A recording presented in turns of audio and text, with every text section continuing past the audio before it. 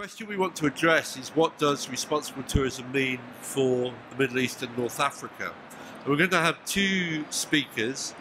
We're going to start with Peter Stubbs, who's Director of Compliance for the Jumeirah Group, and he's going to be talking about the hotel and what they are able to do to make that hotel more sustainable. And also, I hope, Peter, to talk about your turtle release and rehabilitation program. And then Tamara Withers, following on from that, is going to talk about the natural environment in Arabia in particular and the opportunities that that presents for tourism.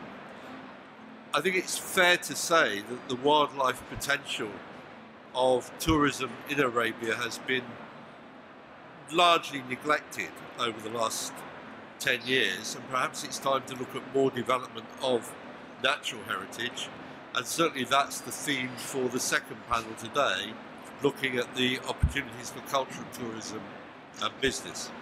The important thing to remember about responsible tourism is that it is about the business of tourism as much as it is about the objective of sustainability. So we're really trying to bring both of those issues together in the presentations today. We've, I've asked the speakers talk, to talk for not longer than 10 minutes each which means there will be a good amount of time for questions and discussion after we've heard the two presentations. So please be thinking hard during the presentations about the questions you'd like to ask. Okay, my name is Pete Stubbs. I um, work as the Director of Compliance and Safety for Jumeirah Group. Um, thank you, Harold, for giving myself and Jumeirah the opportunity to talk about how we manage our corporate social responsibility um, our environmental projects and what that means for us within the Middle East and North African region. Um, as per the brief, I'm just going to cover a little bit about what we do. Uh, that's the nice bit, that's the easy bit because it's very tangible and it's very nice talking about it because we're very proud of what we do. Um, we're going to go and talk a little bit about why we do it. So I want to try and uh, make the business case for environmentalism, sustainability, and responsible tourism. And I'll, I'll, share with you some personal thoughts that, that I have on, on why it's important for us here in, in Dubai in the Middle East. And, and, and linking to that, um, why it makes um, business sense as well. So, for those of you that don't know Jumeirah, um, uh, Jumeirah is a very strong uh, hospitality brand within the UAE. Uh, we're UAE based and we're owned by Dubai Holdings. Um, we have 21 properties um, throughout the world, uh, representing over 6,000 keys uh, over, um, and, and, within the UAE we have 12 properties. We, we also, in addition to hotels, have um, leisure business, uh, Talise, and also a group called Jumeirah Restaurant Group, which is standalone restaurants within mainly the UAE. Uh, we have an amazing uh, colleague base of over 13,000 uh, colleagues, and as you can see on the screen, uh, representing 125 nationalities. Uh, I think actually within the UAE alone, maybe up to 90 nationalities. So we have a very diverse uh, workforce. Um, we are a five-star hotel um, brand. We have the iconic Burj Al Arab as our flagship site, and um, we have our mantras stay different. So one of the things that we really um, have within our portfolio is an amazing estate of assets and uh, environmentally if I just put that into context that, that allows us to do some very creative stuff um, in those assets as well. So in terms of our strategy um, our environmental and sustainable initiatives sit very much within our corporate social responsibility platform. Again you can see on screen that that has five pillars, sustainable business, environmental protection, community welfare, colleague welfare and resource conservation. And specifically the area that I look after uh, includes the environmental management system and we're very proud to say that across our portfolio we've used the Green Globe standard as our environmental management system. I, I know that Guido, the CEO of Green Globe, is here this week. Um, he may, I guess, pop up and uh, join the sessions later, but he's certainly a guy that uh, knows a lot about environmental issues within the hospitality industry specifically. And if you've got any more questions about Green Globe, he's the, he's a guy to speak to.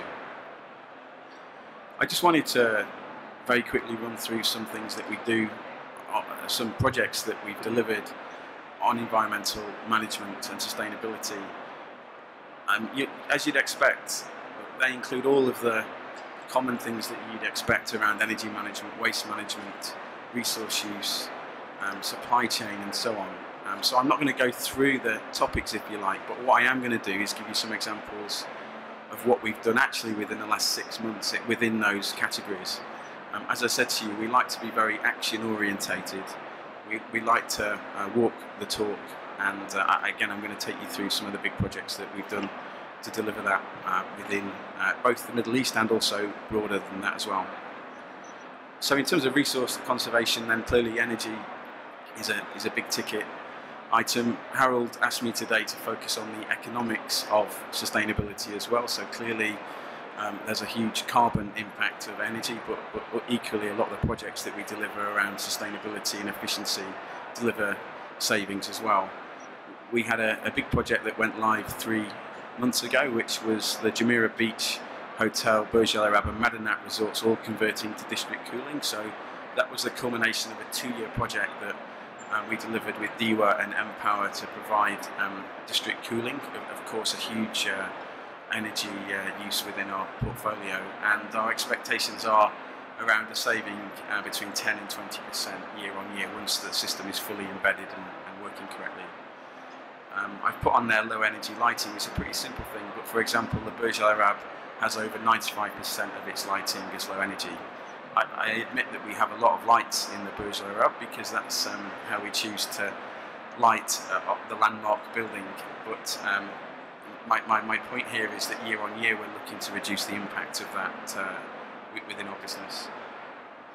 In terms of waste management, not particularly um, graceful topic, but one that's very, very important to, to Dubai. I think we're working very hard with our um, providers to improve our uh, recycling rates, our capability, uh, and of course, um, particularly within the region, the focus on, on food waste as well. And the photograph at the bottom you can see on the right is uh, an example of the composters that we've started to put into our hotels to convert uh, waste uh, material into usable um, fertilizer and, and composted material that we use within our landscaping business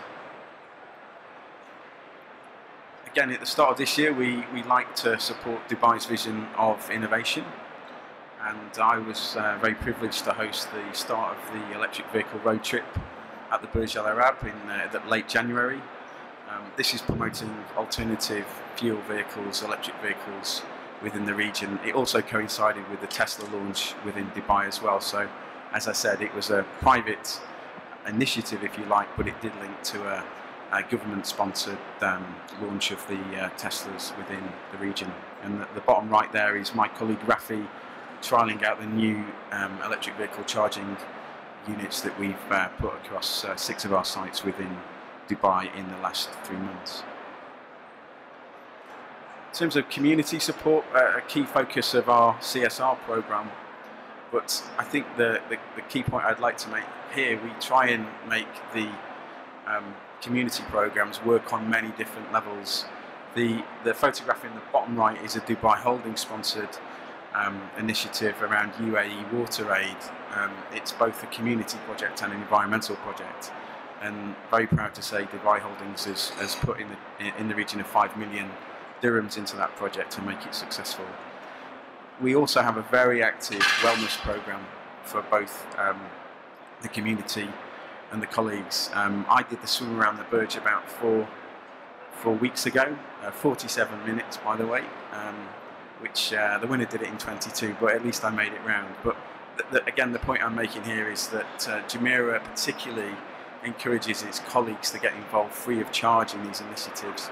It's a great way of um, keeping the health and wellness agenda within our business. And as you'll see at the end, I have a slide that says if we have happy colleagues and healthy colleagues, we have happy guests as well. I guess let's move to what I consider to be probably our marquee environmental project, a fantastic environmental ecology biodiversity project, if you like, that we've been running from the Burj Al Arab over the last uh, decade.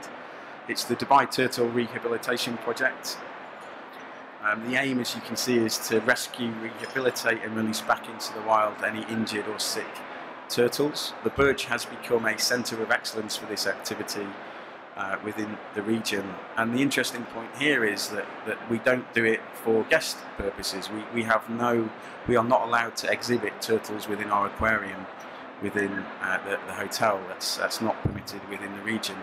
It's an activity that happens very much um, behind the scenes, um, but, it, but it's an amazing uh, initiative. And I have to say, probably for me, some of the happiest days of my working life have been involved in this project particularly on the, the turtle release days when we release them back into the wild. Just to show our commitment to the project, uh, you may be aware we opened a new hotel at the end of last year, the Al Naseem uh, Phase 4 part of Madinat Jumeirah. And the graphic that you're seeing on screen actually are the five new rehabilitation pens that we put within the project. So we had an inland waterway, we had space to um, put wildlife within it, and our team were able to um, use that for the um, rehabilitation project, and it's been very successful. You'll see in the middle there we have an education area where we invite up to 4,000 children every year to, to participate in. Here's a photograph of the amazing team that we have. Um, we, we have it led by a guy called Warren Baverstock. He's a marine biologist, um, all-round top guy very dedicated to this initiative, and he, he and his team of six colleagues deserve great credit for the, the work that they do and the, and the tireless work that they do behind the scenes to, to look after the, the turtles. What you can see bottom left there, I think these are hawksbill turtles, the most common ones that we um, rehabilitate, and top right, I think, is a green turtle. Um, and and, and what, what we're known for now within the region is a centre for excellence to rehabilitate the, the, the sick turtles. And we, have, uh, maybe on a stormy day, we may have up to uh, 20 or 30 handed in over the, the, the, week after as they get washed up on beaches in the, in the region. It's not just about putting them back in the wild as well. We genuinely are a centre for excellence and uh, have um, are at the forefront of research in how these creatures are surviving. Um, the graphic that we show here is the most famous um, turtle that we've ever released. It's called Dibba. Um, you'll see that uh, occasionally, if we release, say, 40 turtles, maybe five will have um, GPS tracking on. And, and, you can see that this is our record breaker. It, it, turned right out of the Arabian Gulf across the Indian Ocean and actually ended up um, around 8,000 kilometers away on the Indonesian coast. Um, that's not common for the turtles that we see. Often they stay within the Arabian Gulf. But, but what this technology is allowing us to do and allows the team to do is genuinely start to track the behaviour of the, the, turtles that we release as well. And Warren and his team are published, um, have published scientific research on the matter as well. And, uh, and, and I guess just to highlight this, uh, they've released uh, exactly 1,089 turtles back into the wild over the last 10 years. And as I say, the, the real nice benefit we have is an open house policy to our guests and invited schools to, to join the education program that we have at Al Naseem. And, and, that invite goes out to everyone here today. If you're looking at this thinking, what an amazing project, um, come and speak to me afterwards. We can uh, arrange to, uh, given that you're the um, dedicated uh, guys that have joined today's session, then we can arrange to um, link you guys up this week to some of the team and, and we can take you through that in more detail in person down at Al So I'm just going to move on to the I guess the last part of the presentation, Harold, which you asked about why we do it. What's what's the, the business benefit? Um, so let's start with economics. This is in no particular order, but um, if the accountants within Jumeirah are watching, then I guess they'd like me to put um, um, economics first. Qu quite simply, um, efficiency equals money. Uh, we, we know that through careful planning and uh, realistic return on investment calculations, we can make savings in the long term.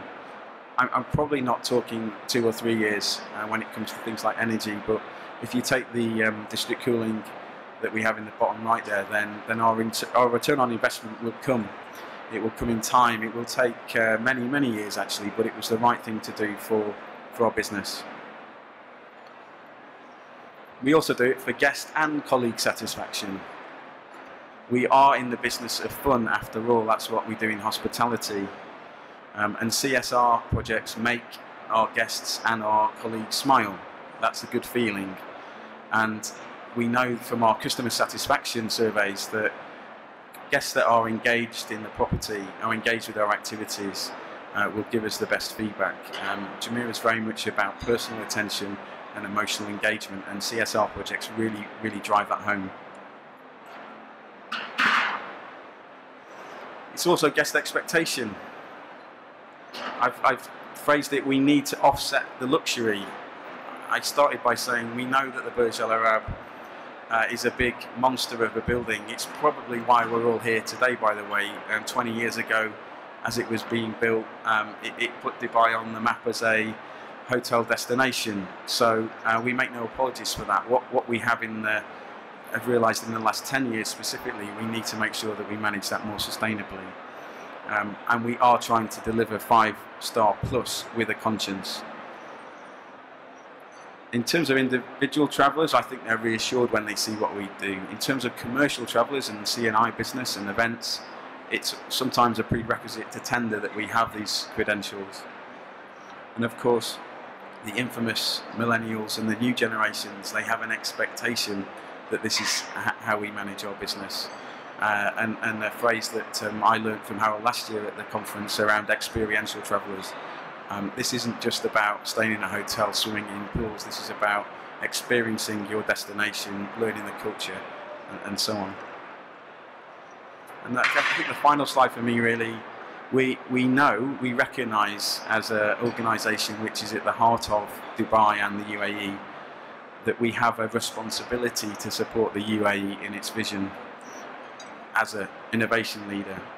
We, will I think tomorrow we're hearing from Expo 2020 that sustainability is a key pillar within that activity. We have the Dubai Plan 2020 21. The, the Jumeirah properties actually feature in the in the icons that, uh, that, that link to sustainability. Again, recognising that we're at the heart of what, what happens here in Dubai.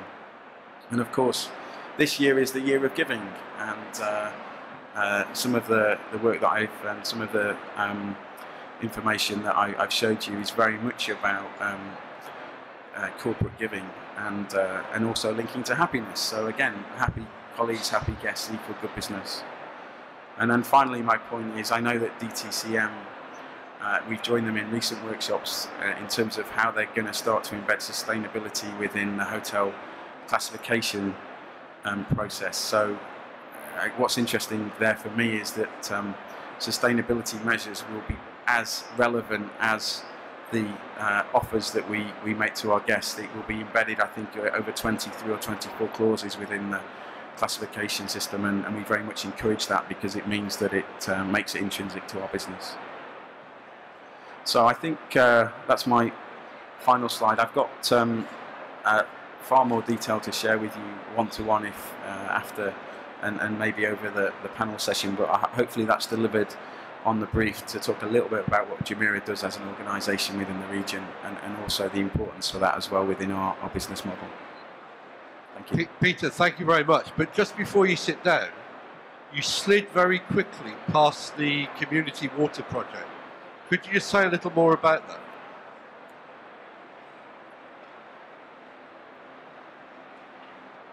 The community, um, the UAE Water Aid. Yeah. Um, Harold, you've caught me on the hop a little bit. I mean, there's a chance that you know more about it um, than me, actually. Um, uh, are, are, you able to give us a bit more insight into that? Um, no, I'm not. Unfortunately, I was counting on you, Peter. But anyway, okay. I'll let you embarrass me. Yeah, that's not a good start for answering a difficult question, is it? But um, no, well, but, I'm here to ask difficult questions. But I, I guarantee by by the end of in the next 10 minutes, we'll have a good answer for that. Um, it, it's a project which Dubai Holding, our parent company, take the, the lead on, actually. But um, Can I just remind everybody that Peter invited you to go and see the turtles? I was taken last year. It is a really unforgettable experience, and it's that invitation is not often made. And I think somebody who's here all the way from South Africa, from a company that specialises in whale watching and shark diving, which I'm not so keen on, but the whale watching, you should certainly take that opportunity up. Tamara, can I ask you to come and tell us about your view from a wildlife perspective? This obviously follows on quite nicely from what Peter was talking about with the turtles. But I do want to come back to that broader agenda when we get to questions in about 10 minutes' time. Tamara. thank you.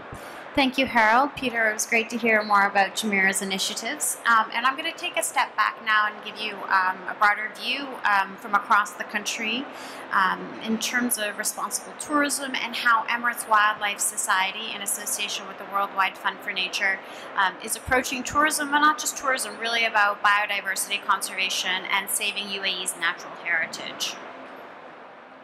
So a little bit about us. Some of you might be familiar, familiar already with the World Wildlife Fund, um, but we are actually here as a, registered as a local nonprofit uh, conservation organization focused on biodiversity conservation. We're the only federal uh, federally registered nonprofit organization focused on conservation, meaning we work across all of the Emirates. Um, and we have been here for the last 16 years. Uh, we are here to ensure the long-term prosperity of the UAE and the country's uh, environmental resources to support the sustainability, and I mean by sustainability in this terms, the economic sustainability of businesses and the communities that rely on those environmental resources. For us, while you might think of us as an environmental organization, we very much embody all aspects of our of social responsibility as well as economic responsibility and sustainability in work that we do. It's part of all of our projects. So we work on a variety of different programs across the, the country, and we climate change being one of them, largely because of the impact it has on biodiversity, not just here in the UAE but around the world.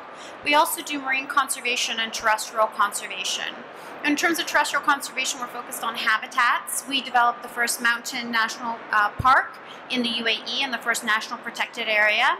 Um, we also work on marine conservation. Um, we have focused on a number of projects. Right now we're doing coastal habitat mapping to understand where are those mangroves, where are those seagrasses, where are um, where uh, are the different areas that we need to conserve here in the UAE. The UAE has an immense um, opportunity to offer a lot to the world in terms of understanding biodiversity. It's a very unique environment, but a lot of it hasn't been studied, and we're one of the organizations working here to better understand what that what the UAE has to offer in terms of biodiversity conservation.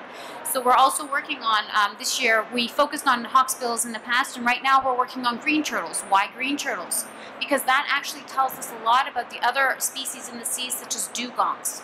So all of our programs um, are very broad in nature and have a focus on having a large scale impact. We always have three elements to how we focus on biodiversity conservation. One of that is research. We're a scientific based organization. Why does this matter? It matters so we can identify the right solutions, understand what the issues are, identify the right solutions so that we can provide policy recommendations. We're a very small organization. There's only 40 of us working on these immense challenges. So the information we do gather has to have a big impact to drive big change uh, to reduce the to reduce the environmental pressures. There's also an element always of education and outreach, as you saw uh, from Jumeirah's example, how powerful that can be in terms of engaging their guests in the community. And this is something that's always part of our projects. We work with the governments and we work with private sector um, across the UAE to provide that public outreach and uh, community engagement on environmental biodiversity. Because a lot of this work, we are, as I mentioned, a very close partner uh, of the governments. We work with the Ministry of Climate Change, the Ministry of Economy, the Ministry of Energy on the emirate level. For example, here, just like Jumeirah, we work with Dubai Tourism. We are one of the founding members of the Dubai Sustainable Tourism Initiative, invited by Dubai Tourism. Um, tourism is a very important uh, sector to WWF, not just because of the impact that actually has on biodiversity, which is the obvious part, but because very much what Peter highlighted is their ability to outreach to the community and to their guests. They can drive change so much further because of the nature of the business within tourism. Um, I get hung up sometimes just focus on the hotel side of tourism, but really tourism, we need to look at the entire value chain in terms of responsible tourism. We need to look at what's happening from the moment a traveler starts to design a trip and to form a trip. How are they making decisions? How are they getting to the airport? What the airlines are they flying? The transport in local countries? What tour operators are they using? You have to look at all aspects of that journey to understand what is influencing travelers and how can we reduce the impact of those experiences from travelers and the businesses associated with tourism. So it's much broader than just the hotel industry.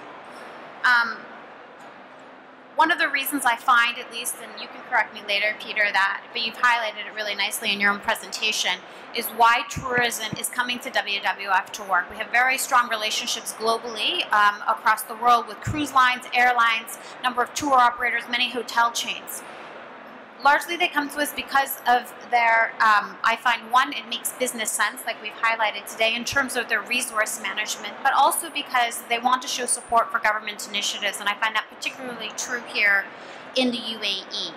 Um, and also and on a local level, again, Emirates Wildlife Society prides ourselves in collaboration. We understand that a lot of these issues are still new to businesses, and we very much want to be seen as a partner where we can provide resources to support businesses in actually reducing their impact. For us, it's not about saying, okay, business is uh, doing something wrong and they have to go fix it.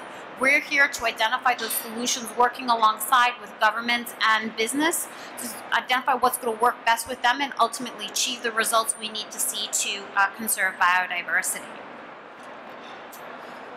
So as I mentioned, responsible tourism is along the entire value chain, but we also, in terms of the hotel industry, need to not look just at the management. We end up getting caught up talking about the management of properties. But in terms of managing biodiversity and responsible tourism, we need to take a step back from the moment a hotel is conceived. Where are we putting this hotel? What, how is it impacting the environment? How can we reduce the impact? How can we compensate for that impact? looking at the design phase, looking at the construction phase, and then of course ultimately the management of, of the hotel. I think hotels have done an excellent job in terms of resource conservation. They've really uh, run with it in terms of improving efficiencies around energy and water conservation, engaging their engineers, their, their staff across the hotels, even their guests. One area that is really lacking um, not just with hotels, but I think across the whole spectrum in tourism, is really on that biodiversity side. How do we engage travelers on biodiversity? How do we have them understand why it's important to conserve biodiversity? How do we have them develop an appreciation and an awareness? And I think Jumeirah provides a great example of bringing your hotel guests in and engaging them and connecting them to the environment. What we need to do is see more hotels doing that. Of course, not every hotel is going to have a turtle rehabilitation program. And oftentimes I hear from city-based hotels, well, we're city-based, so we don't, well, the land came from somewhere and it had an impact on biodiversity at one point in time. You do interact with the environment and have an impact on the environment. I think we have a responsibility, even as a city hotel, to provide our guests an understanding of the biodiversity of the surrounding environments of the countries that those hotels are in. And I think we need to see more and more happening from hotels and throughout that value chain. How can airlines participate in this? How can airlines develop a sense of appreciation and awareness of their flyers, of the biodiversity in the destination countries? How many of you can name a species native here outside of the hawksbill turtle to the UAE? I'm sure few of you can. We need to develop more of an awareness among the general public and the employees that are working in the industry around why biodiversity is important. I'm sure this doesn't come much of a surprise given that we're the World Wildlife Fund this is a real opportunity. And it's not just a cost to the business. What I'm excited about is I see this as a huge opportunity to provide added value as a destination. I think there's an immense amount of resources here in the UAE that we can uh, take advantage of, environmental resource and environmental experiences to add value to the visitors that are coming here. And I don't think this is just unique to the UAE. I think this is an opportunity for the entire region to take advantage of and something that's not being done just of yet. We're looking for a great new, exciting experience, which is wonderful. And now this is an aspect that we can build in, connecting people to the country, connecting people to the culture, to natural heritage, um, through biodiversity is an amazing opportunity. And this is something very much that we're focused on here uh, at Emirates Wildlife Society. We have a dedication to preserving the UAE's natural heritage, understanding what biodiversity is here, what species are here, what habitats, what makes them special, and how they contribute to the UAE. So it's also for us important to understand what is the problem. What are the challenges to biodiversity? And we have to recognize and understand what needs to be done or what those challenges are. So looking at the overconsumption of resources, how, while hotels in the industry have done a lot, what more can be done focused here on the UAE to reduce that impact? looking at, like I mentioned, siting, natural land conversion and degradation. Also, the air pollution and noise that's often associated with uh, development. Course, littering and waste production, water pollution and carbon emissions. And still here, even in this, there's that element missing around the, uh, the education and awareness around species. So what needs to be done?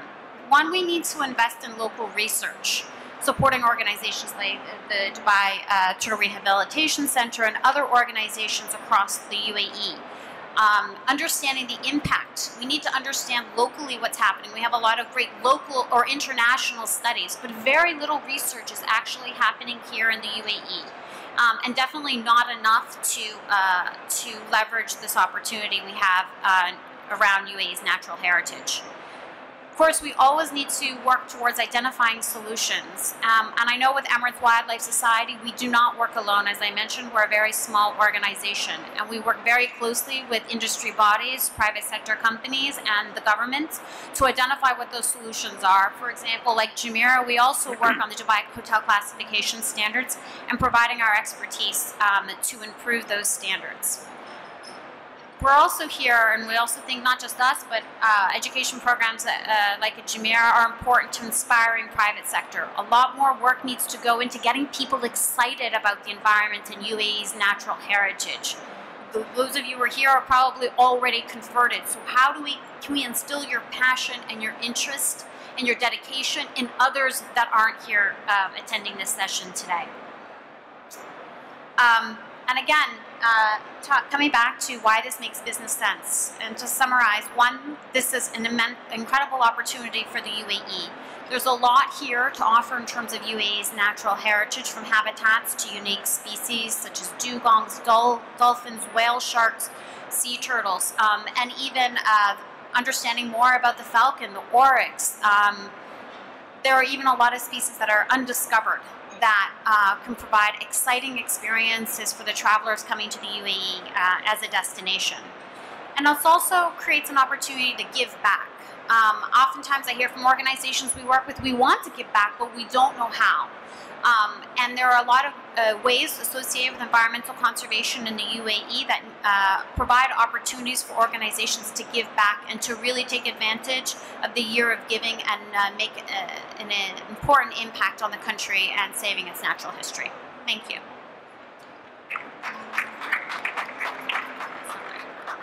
Thanks, Tamara. I'm, I'm going to take the first question myself, if I may, because you both, in a way, raised a similar question which is what is the relationship between the wildlife and the tourism opportunity from a commercial perspective? Peter, when your accountants start challenging what you spend on the turtle rehabilitation, how do you make the case for it being business sense to do? Can you, sorry, Hal, can you repeat the question? Sorry. Yeah, when when your accountants say, look, this turtle rehabilitation thing is costing us a lot of money. Yeah how do you make the case for continuing to finance what is quite an expensive process? If you go and see it, you'll be very aware that a lot of resources are disappearing into turtle rehabilitation, which is hardly core business with Jumeirah. Yeah. So it's, it's a good question. Um, our, our, accountants are human beings as well, and they um, they get it. If uh, you know, we, we invite our corporate team to our turtle release activity. We have three or four a year, and um, I think from an emotional perspective, uh, when they get involved and see those turtles scut scuttling down the beach into the water, when they see the the guests um, so actively engaged in those activities, um, then I, I, think that, that that goes a long way to to, to make us uh, get the signature on the on on the for the cost of the project. I think the other point is as I said, um, we do realise that morally, in a five plus star environment, uh, we have a reputational issue that we need to offset. I refer to it as offsetting luxury, and we can't have one without the other. We, we are an organisation that, that recognises that it, on one hand, delivers um, amazing experiences. Uh, for some people, uh, once in a lifetime experiences that we make no apology for, but at the same time, uh, we need to make sure that we do that in a responsible way, and, and you can't have one without the other. And, and our and our and our uh, um, financial guys understand that. Peter, that's an excellent answer to the question. But what it doesn't do is explain why so few hotels actually engage with any species conservation project at all. Hmm. Hmm. So why don't they? Look, I think uh, it's a complicated project. I mean, we we we have uh, world-leading scientists running that project. They so they, they at the same time they're they're offering uh, um, they're doing a service in terms of keeping our aquarium, which is part of our signature restaurant, working as well. So there's a very compelling business case on both sides. Um, the the amount of back of house work required is, is very significant as well. Um, so I, it's not an easy project to run, and, and maybe to answer your question, Harold, many organisations are put off because it is complicated. Um, in, but in many ways, th- those organisations have got to at least give it a go and see how, see how they get on. And, and, and I think Jumeirah has been, and of course uh, the, the, the the leaders of Dubai have been very brave at making some very ambitious um, projects within Dubai. Let's just look at the the the the buildings. Let's look at the Palm. These are very very decisive, ambitious projects. Um, the, the Dubai Turtle Rehabilitation Project was another example, albeit slightly different, of where they they dared to be different. They they dared to to do something very innovative, and, and the net result is a fantastic project. But tomorrow, I accept all that, Peter. But tomorrow, you don't have to have such a complicated project to make a And, difference. yeah. do you? Jumeirah's an exception. They stand alone in terms of what they're able to do, I think, in terms of their rehabilitation project. And what I would hate for hotels and others in the industry to think that it has to be this complicated and that you require this much investment. We look at practical solutions all the time at Emirates Wildlife Society of ways any organization, any business, any hotel can um, get engaged in environmental issues, uh, whether it's climate change or biodiversity conservation. It doesn't have to be something at this level. Um, we want to see practical solutions uh, within the industry. And I wanted to come back to something you said. You were asking about the business case, and I know that's what we're focused on here today. And um, I think, and even us at Emirates Wildlife Society, we're always talking, well, what's the business case? How do we justify saving turtles to a business? And I think one of the things I'm, I'm starting to reflect more on is it's maybe it's yeah it has to make a little bit of business sense. We can't be costing businesses money as a result of it but i think it's also we need to talk more about passion and connecting people to nature. And that's really what is amazing. You know there are a few opportunities still too few opportunities in the uae to actually connect the community whether it's guests or tourists to nature to develop an appreciation. And oftentimes, when I'm sitting with organizations and businesses and decision makers, and if you look at some of the big companies in the world that have developed where this is core to their business strategy, it's because their CEO or chairman has a passion. They're divers, they're hikers, they're they they understand. they develop this appreciation. Um, it's not only because it's going to make them money. Um, it, that's not always the number one driving thing. And I think we need to do a better job at connecting people to nature. Um, and even as our organization, that, that's a struggle. There's we need more in the hospitality and tourism industry, more infrastructure to be developed so we can provide them access. It's not like South Africa, which is above and beyond in terms of providing people access to nature. How do, can we develop some of those things? Get people engaged in the oryx and the natural habits here. How can we But- bring but them out tomorrow- to the wadis? Tomorrow, that won't really do as an answer, will it? Because it seems to me that you've got fantastic wildlife resources here. By anybody's standards, Yep. that is an iconic photograph behind eh, you of a wildlife experience which can be had in this part of the world. Yeah. It's been developed in South Africa because people see the commercial advantage, and it's a highly profitable industry Yeah. in South Africa. Yeah. Why has that not happened here? I, I just think it's an untapped opportunity. Uh, we need to develop the infrastructure to provide them the opportunities to go out and see the oryx. We, we need that developed here still, and I just think it's an unrecognized opportunity. Sorry, I've taken all the questions. Is there anyone in the audience who'd like to ask a question? Particularly about whales? Okay, I feel a bit on the spot like you know. yeah, so we're a company in South Africa. Yeah, that do boat-based whale watching and shark cage diving. We're the, we're the first fair trade certified um, marine company in the world for, for responsible tourism and we work with Dr. Harold. Um, yes, um, I must say it's my first time in Dubai. I don't know much about wildlife around here, and I would love to come and see the turtles. Um, I'm not sure what I should ask about what else, Doctor. Is it possible to see marine wildlife here at all? Uh, yeah, actually, you can marine wildlife. When you want to go out into the mangroves uh, in Abu Dhabi, I know. I mean, do you know of any? We have. There's a number of providers.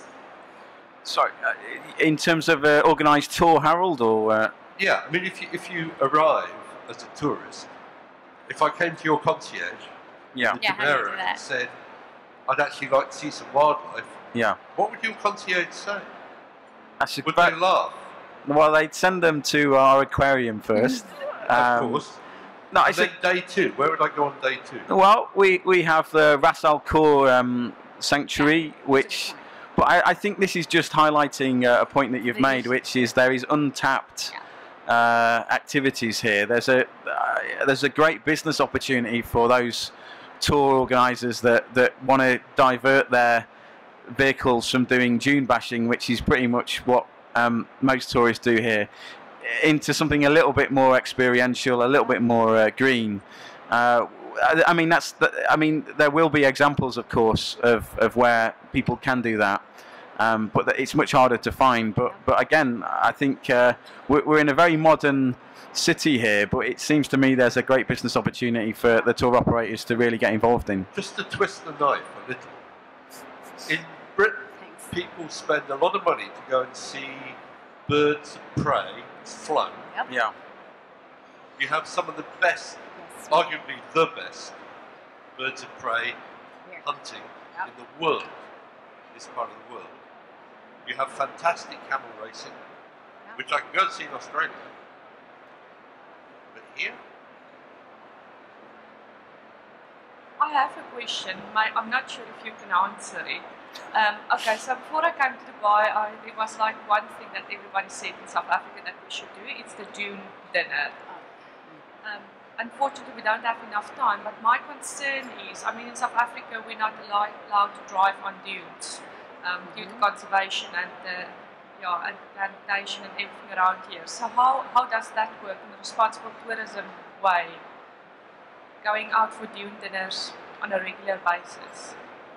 From what I know, just from my conversations with Dubai Tourism, and that this is something they're looking at in terms of responsible tourism, tourism here in the Emirate, uh, and how uh, dedicating certain areas uh, to those desert dinners um, and trying to reduce the impact around those. I'm not sure about the other Emirates because each Emirate is regulated uh, slightly different, but I agree there is a great opportunity there for responsible tourism and for hotels in terms of vetting who their suppliers are and their tour operators are, um, and when they go out and have those experiences. And I think uh, it's difficult for a tourist to evaluate these necessarily.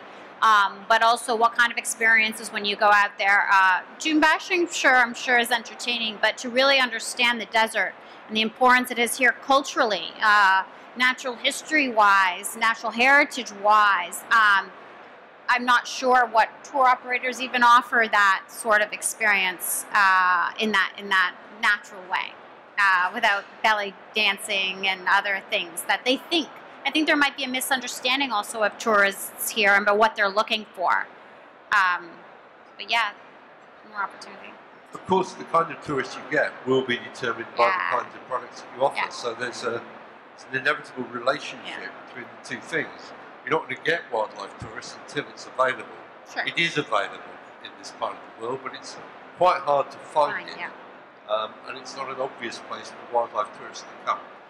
I want to close the session here. The next one, which is on cultural tourism, is looking at the other set of issues around what again I think is a missed market opportunity, which is the rich cultural heritage of this part of the world and how difficult it is tourists to access that.